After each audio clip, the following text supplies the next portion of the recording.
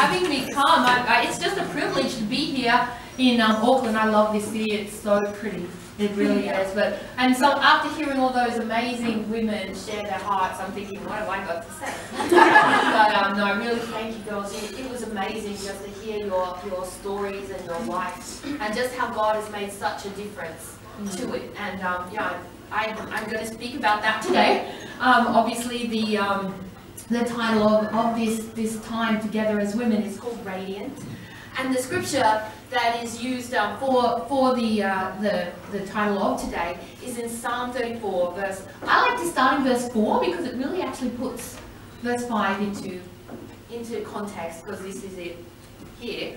It says in verse four it says I sought the Lord and He answered me. He delivered me from all my fears. Those who look to Him are radiant. Their faces are never covered in shame. I think the thing I love about the whole thing about fear is I think that a lot of us as women can relate to that and I really appreciate just the sisters that actually shared their hearts because you see that, that you know the battles that they were they were having with fear of a lot of things in their life and that's what I love about this scripture if you want if you've got a Bible and you want to read that whole psalm it is amazing but also it really does put into context the fact that God is the one that makes us radiant. So I really just want to share a little bit about that today.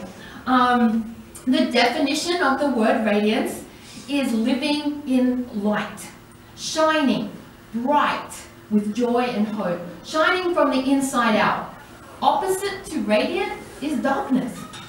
You know, um, it is it is not what is on the outside that makes you radiant. It comes from what is within.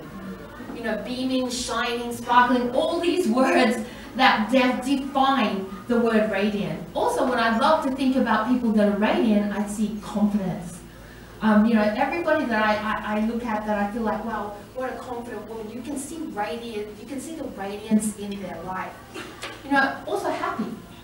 Always something I've always is, is who I am. I love to be happy. I don't know about you, but happiness is something that I've always strive, you know, strive to be in my life. So I've done many things. I've gone traveling. I've done, I've just all what the girls were sharing. All these things to help me to be happy in my life. But actually what I figured out, happiness and radiance does not depend on your circumstances. It depends on what is within you. You know, when I think of something that's radiant, of course I think of the sun. I think that it, I, I love the sun. It just makes I think there's a freedom when it's sunny. You know, there's just a freedom to life. You can do what you want. You don't have to run around trying to, you know, keep not get wet and all this sort of stuff. I love it. I love the summertime because it really makes me feel alive. I think that's another thing that being radiant is. It makes you feel alive. But how can we live lives like this? In John 10:10 10, 10, it says, "I have come that they may have life and life to the full." The words of Jesus. The reason he came was to give every single one of us life and life to the full. As an older woman, I know that this is, is something that I've strived after for a long time. And I really believe I found it in becoming a Christian and staying a Christian. It's not mm. easy.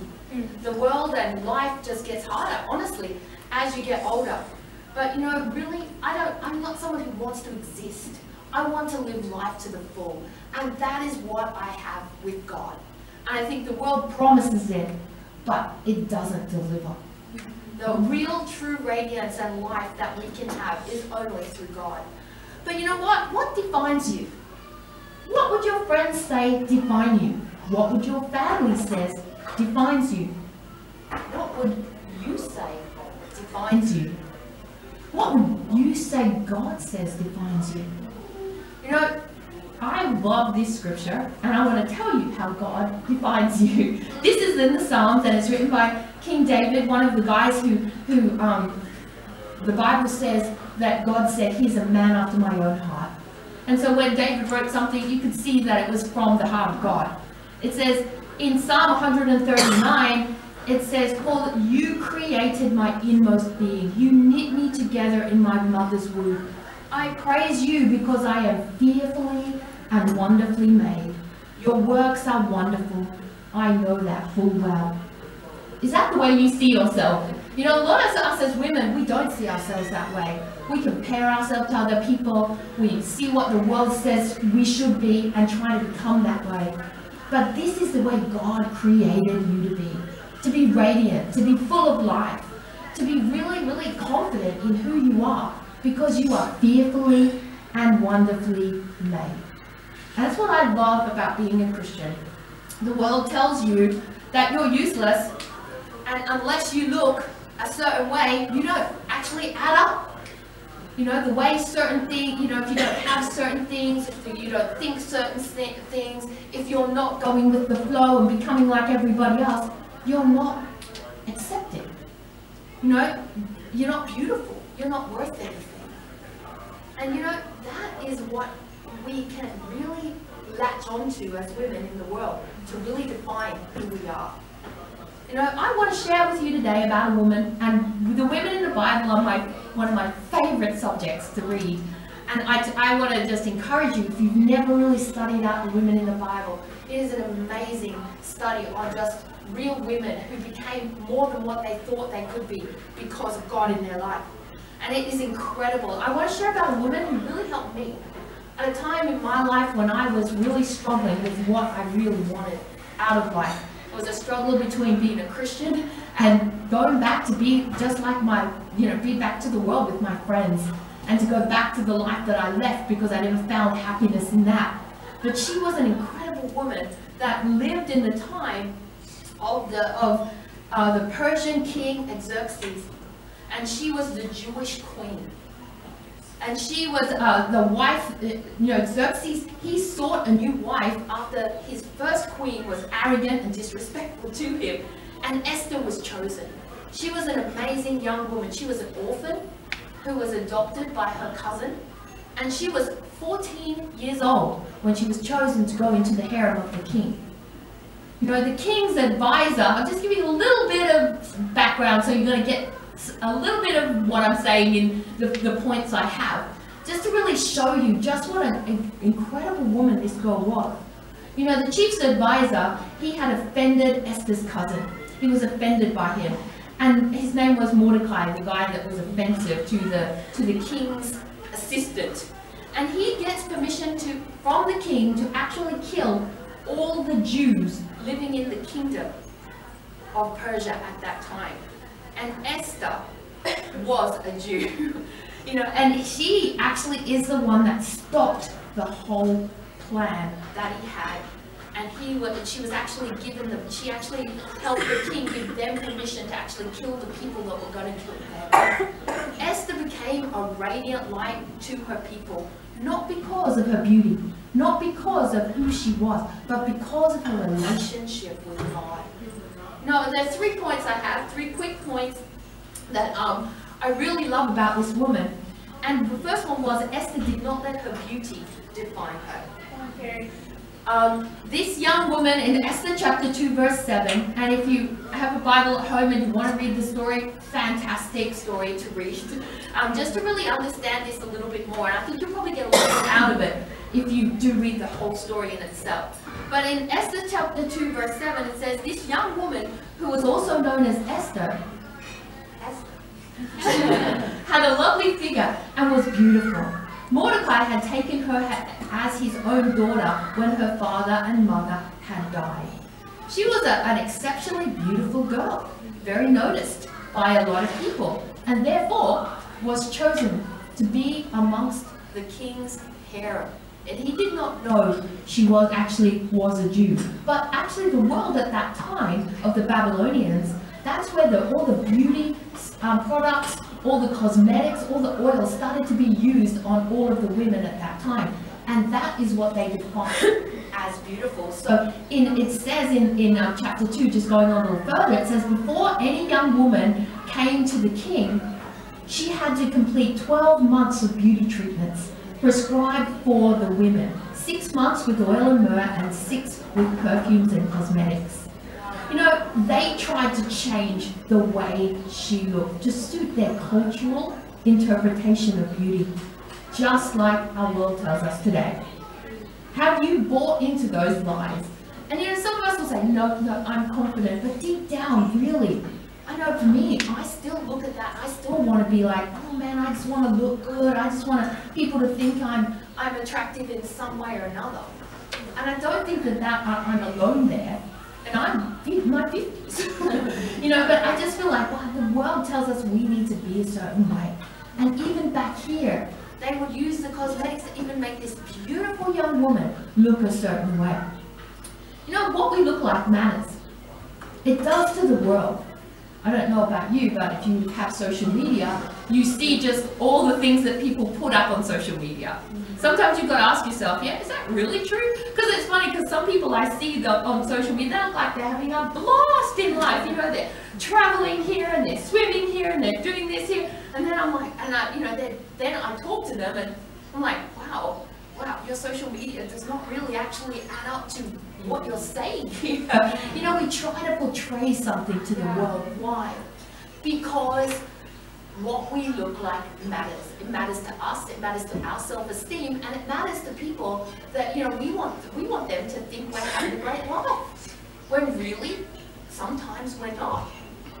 You know, the internet, I think since the world has become smaller, and we know what's going on everywhere, you know, we, it makes life more competitive. I feel like life today is a lot harder than it was when I was a kid. I didn't care. I didn't know anybody. You know, you only knew your social circles. You only knew who you went to school with. You didn't hear what was going on in, you know, England and Paris and all these other places, America, especially America. You know, but I love the scripture in the Bible that says, "The more knowledge, the more grief." Mm. That is such a true scripture. And I um, think it really applies to a lot of us. And you know, sometimes I'm just like, don't let me look at the news. I don't know if you watch the news. But when I watch the news, I'm like, oh my gosh, this world is sad. And it makes it push you down. The more knowledge, the more grief. And the, you know what the world is striving after more and more? I want to know. I want to know. I want to know what's going on here. And you know, even in me, in the morning, sometimes I'm like, okay, so pick up my phone, quick, what's going on in the world? You know, I don't know if you do that. I do.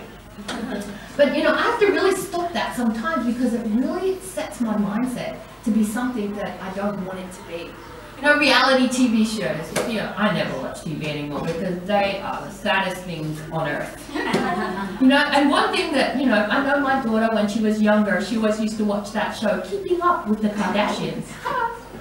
I'm just like, why? Why are you even watching that? But even the name of it just gives that, gives young women this whole thing. I have to be like her. I have to keep up with her. Why? She's beautiful. Why? She's popular. Why? She's rich. She's a celebrity. Everybody loves her. And so that's what young women strive after because they want to keep up with the Kardashians. Mm. Man, that's a sad thing in itself. But that is what the world is teaching us today. Compare yourself. You feel like you're not good enough because these people are just so far beyond what we would even think we could become. You know, in a study conducted in 2010, worldwide in first world countries, 35% of people said they felt their appearance defined their identity. In 2015, that number jumped to 50%. So in five years, now half of the of young people that were actually, you know, surveyed said that their, uh, their appearance defines who they are, their identity. You know, so it makes sense that now almost two-thirds of people now say that they work hard at their appearance, and I don't think that's a wrong thing. I think it's really nice to look great. But when our appearance defines, our appearance defines who we are, that is where it starts to go wrong. You know, 61% of men and women think that their lives would be better if they were more attractive. You know, 41% of millennials have felt better about themselves because someone else looks worse than them, in their opinion. But you know what? I think we can all relate to that, right? When you walk into a room and you think you look good, hey, you feel good, right? I know I do. You know, yeah, right? Exactly. And you know, and I think, you know, we've got to feel good about ourselves, but we can't let that be the thing that defines us. Because that is what the world says. It's very, very superficial when really radiant, being radiant comes from the inside out who you are. You know, I love that about her. She did not, Esther did not let her, her beauty define her. She let her humility define her. You know, it says in the same chapter, a little further on, it says, when the time came for Esther, the young woman that Mordecai had adopted, to go to the king, she asked for nothing other than what the king's servant was giving for her. You know, because when you're in a situation like that, it's easy to ask for a lot of things. You can ask anything you want. But she was humble. She was like, no, you give me what you think. And Esther won the favor of everyone who saw her because she wasn't entitled. She was humble. You know, humility is a characteristic uncherished in the world today, but highly cherished by God. Even though she was physically beautiful and in her and it, it was her inner beauty that made her attractive. It was mm. that what made her radiant from the inside out. You know, the Bible does say, for those who exalt themselves will be humbled, and those who humble themselves will be exalted. And I really feel like this is what happened to this woman. As a result of Esther letting God's values be the center of her life, her life was radiant and noticed by all those around her. And it even says in verse 17, now the king was attracted to Esther more than all of the other women. And I'm sure she was not only the most, she, she was beautiful, but maybe she wasn't the most beautiful. It was what, who she was that was that made her attractive. And I love that about her. She didn't let her beauty define her. And the second thing that she didn't do, she didn't let her fears define her. Mm. You know, fear is a powerful thing.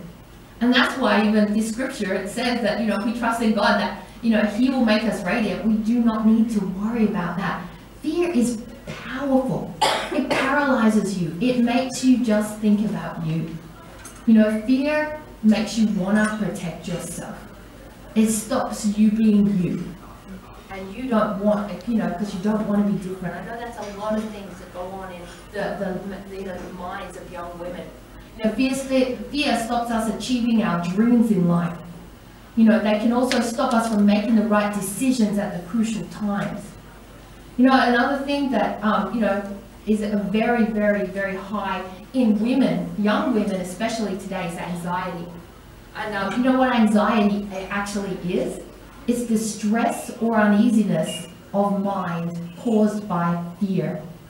Fear is the thing that causes anxiety. You know, the percentage of 15 to 24 year olds struggling with anxiety and depression is steadily growing each year.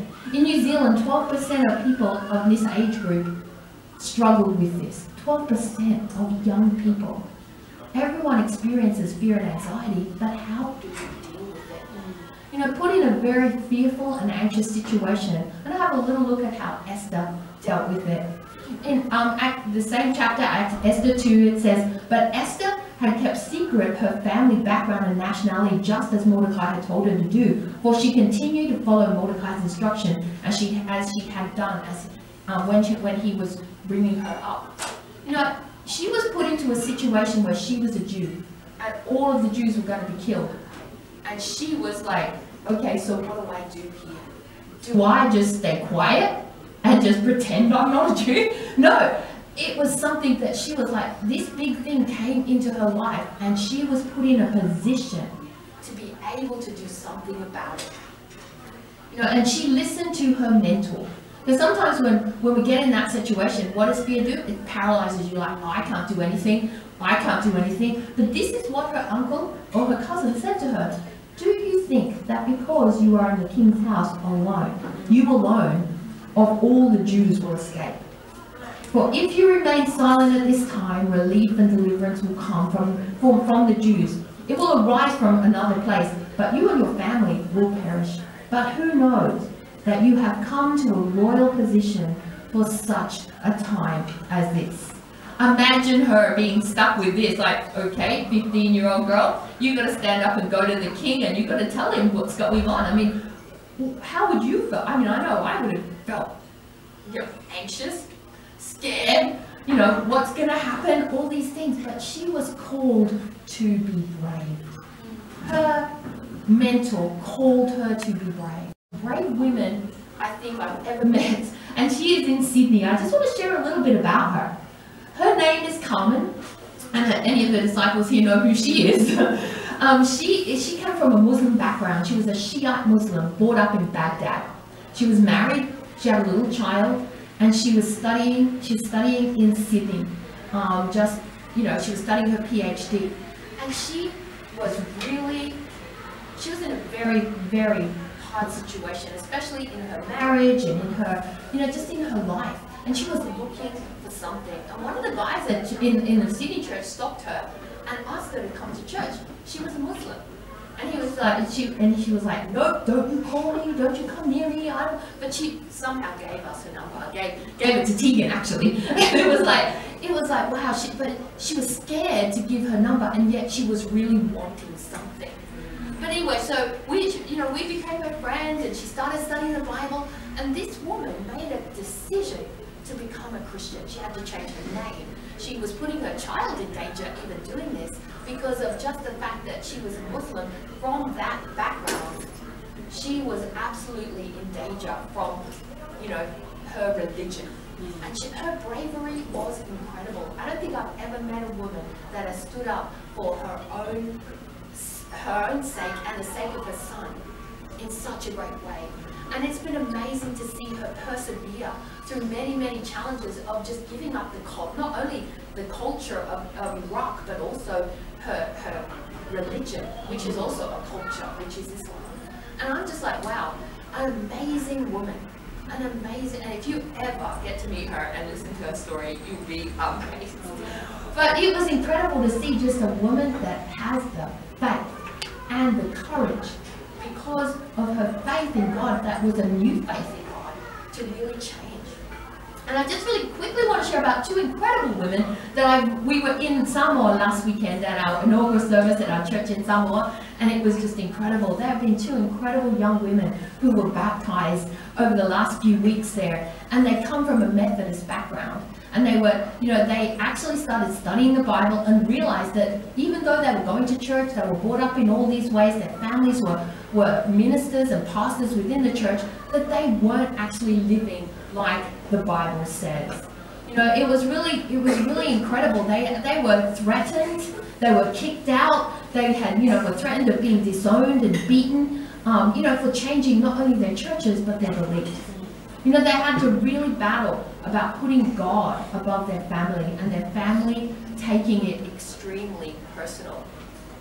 I'll never forget Tanu's conviction when talking with her family and her and her explaining that the only way I can actually love and take care of my family to the extent that I want to is if I choose to love God above them. So yes, I choose to love God first because it's the only one, he's the only one that can love and take care of both me and my family, despite what Amazing young woman who, you know, and, and these, these women really inspire me. Their bravery and their faith to actually start to, you know, to, to not let their fears define them. Because you know what, going against your family as a young woman is a really big issue. Going against your culture, your religion, as a woman is very, very, it's, it's scary in lots of ways, but these women are my heroes in the faith because of what they've had to persevere through to get to where they are. You know, today, someone's going to ask you if you wanted to study the Bible and put God first. You know, don't say no. Even if you think you know the Bible, you've heard these incredible women that have come from Christian backgrounds and yet, you know, they didn't really know what God called them to be and what God wanted for their life. I was one of them as well. I was traveling the world, having a blast, you know, and thinking I was a Christian all my life until one young lady stepped into my life in London and she showed me the scriptures. And when I looked at that, I was like, wow, I have never seen this before. It changed my life. That was 28 years ago. And it was a bit scary to actually have to change everything that I thought, everything that I'd believed all my life. But it was amazing to really see the freedom that comes from really knowing God and being radiant because of that. You know, I love Esther. She didn't let her fears define her. The one thing that she did do though, she let her hope in God define her. You know, hope is a powerful thing. You know, it can it can also be destructive when our hope is in the wrong thing.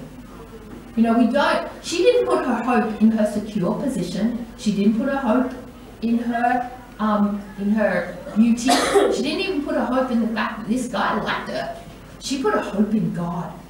And you know what? She, when she called to go to the king, she said this to Mordecai. She said, Go and gather together all the Jews who are in Susa and fast for me. Do not eat or drink for three days, night or day, and, and I and my attendants will fast as you do.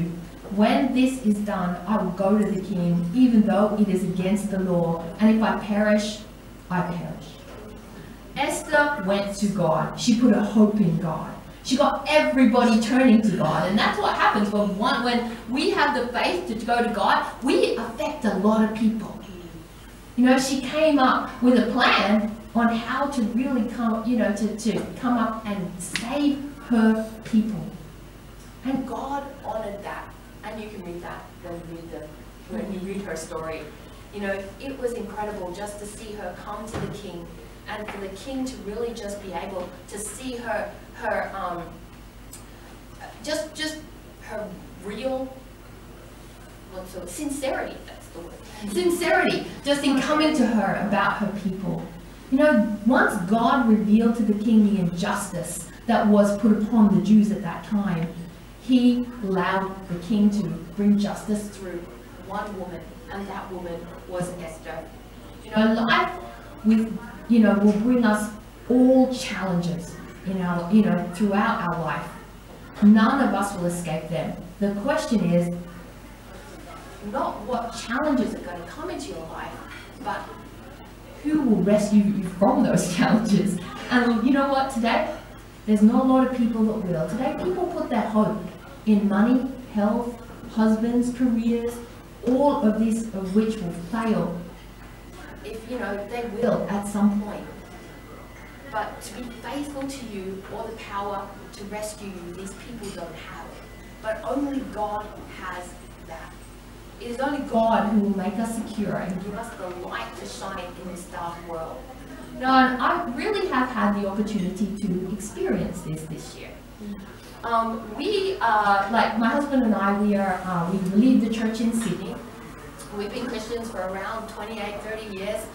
And, um, you know, we've given up everything to do what we believe. We sold our house, we've given up, we, we've used our money to, to fund our missionary trips, to train, to do what we need to do, to be you know, to, to be effective for God. It's been an adventure and it's been awesome. But you know, when you get a little older, you're feeling like I need some sort of security in my life. and um, you know, a, a, few times we've been living in houses and we were told that, you know, you have to move because um, you know they're renting the house out, they're selling the house, they're doing something, and I was like, you know what? I just want somewhere I don't have to worry that we're gonna have to keep moving. And my parents have recently passed away in the last few years, and they lent they left us some money. So my husband and I were like, we're gonna do this. We're gonna we're gonna buy ourselves an apartment in Sydney. Great investment, right? Great security, right? We that's what we thought anyway. So we buy this place two months we've had this, but two months. And the, they start building a building next door. So they dig down so deep with this building next door, and there's a whole bunch of stuff going on about the building regulations in Sydney because of this. But they built down too deep. They took, you know, soil from under our building, and what has happened? The whole apartment blocks, there's three blocks within this, are unstable, unlivable we get this call from our children in Manila. Joe and I are in Manila, you know, just uh, at a conference, and, and what happens in Manila, we get this phone call, my kids are like, Mom, they told us to evacuate. I'm like, oh, don't worry, it's just a drill, they do that, you know, don't worry about it, it's fine. And then the next door neighbor came over, and um, he was like, no, you need to evacuate. and take it, just take what you can, just take what you can. And so, the, so Ali's freaking out my my my kids are 21, both of them, and you know, my son's out walking the dog, and my my daughter's freaking out. What am I gonna do, Mom? I don't know what to do. Like take, just listen, just calm down, just take some, take what you need and leave. I'm ringing Jenna. Jenna, can you get in the car and go and get my kids? Go and sort them out. They've gotta get out of this apartment. The police were there. They had an hour to get out. I was like, my goodness, is this place gonna fall down? Got to that point. I was like, oh my god. And I just sat there in Manila. There's not a lot I can do, is there? It's just like I'm what a long way away, and I'm like, oh my gosh. And so I just like, okay, Lord, can I do? I can only trust you. so anyway, we get back from Manila. It's all summer clothes, winter in Sydney. We get in to get a coat.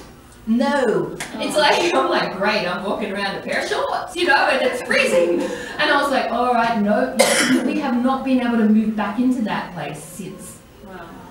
And I was like, and Joe and I were sitting there like, okay. And can we do anything about it? No.